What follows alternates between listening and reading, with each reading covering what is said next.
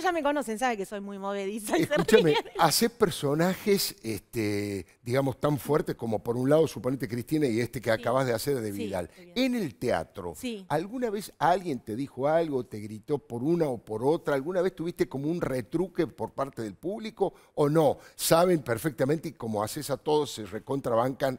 Porque vos haces una crítica, por un lado, una crítica política, eso es una, caricatura, una caricatura del personaje. Totalmente. Obviamente, y para hacer caricatura y hacer reír, tenés que potenciar los elementos más críticos, si no, no hay humor. Además, te digo esto porque lo he estudiado y porque me encanta, eh, la caricatura política, el humor político es más viejo que el mundo. Los diarios más antiguos del mundo se hacen caricatura de los políticos y es parte de la democracia bancar esa situación. ¿no? Exactamente.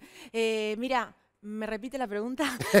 No, si te pasó alguna vez que alguien del público te retrucara. Mira, vos sabés que pasa algo muy mágico en el teatro. eh, como yo hago estos personajes que ustedes ven, bueno, muchos más, pero sobre todo en cuanto a la política, uno puede pensar, bueno, puede salir alguien que grite algo o Sí. que me insulten a mí.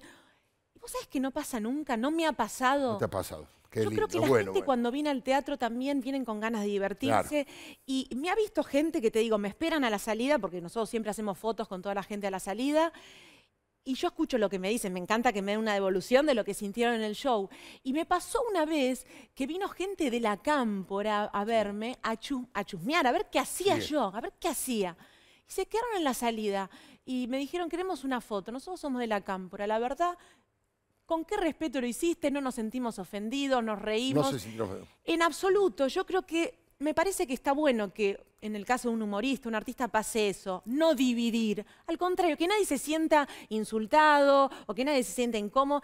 Obviamente que uno dice cosas fuertes, con humor, con respeto, pero que nadie, nadie, que no haya, que no pase esto de que me griten algo a mí. Claro. Está bueno que en el teatro no, pase supuesto, eso. Es Me un signo de parece que madurez, está- eh, ojalá, ojalá ocurriera en ese tipo me parece de que está buenísimo eso y por suerte pasa así.